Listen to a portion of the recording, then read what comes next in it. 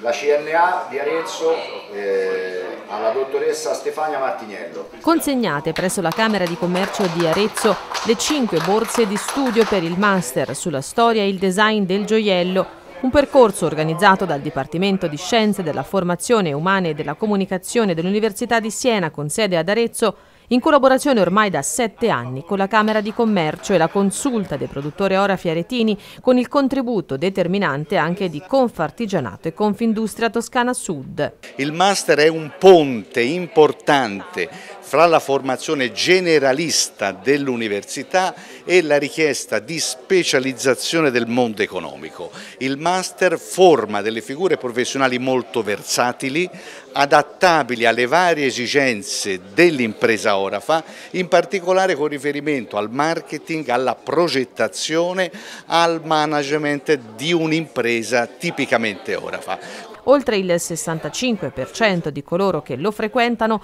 trovano poi un'occupazione e con profili professionali altamente qualificati.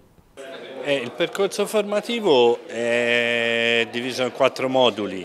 Si parte da un modulo introduttivo sulla storia del gioiello, che comunque devo dire che noi l'avevamo messo lì come modulo introduttivo, però sembra che riscuota molto successo e dopodiché passano alla, alle tecniche orafe, quindi imparano tutte le tecniche orafe, questo lo fanno soprattutto all'interno delle aziende orafe.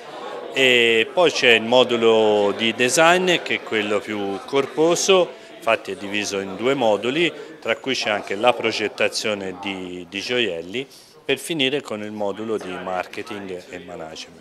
Oggi e ormai da qualche anno una delle esigenze primordiali e principali è proprio la qualità dei nostri collaboratori. Oggi sempre di più ne abbiamo l'esigenza e attraverso questo master le aziende possono avere persone qualificate che possano supportare e sostenere l'imprenditore in scelte di futuro. Le aziende sono come le squadre di calcio, se i giocatori sono buoni si vince campionati, se il personale è di livello, di qualità, addestrato, messo al loro posto con dei contributi di creatività, professionalità, eh, ingegno, capacità di progetto, si va avanti e si va avanti con, con soddisfazione.